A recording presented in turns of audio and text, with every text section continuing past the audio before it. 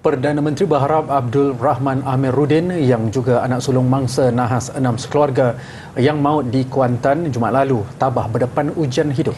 Pesanan disampaikan Datuk Seri Anwar Ibrahim menerusi setiausaha politik beliau Ahmad Fahan Fauzi pada serahan sumbangan disampaikan semalam.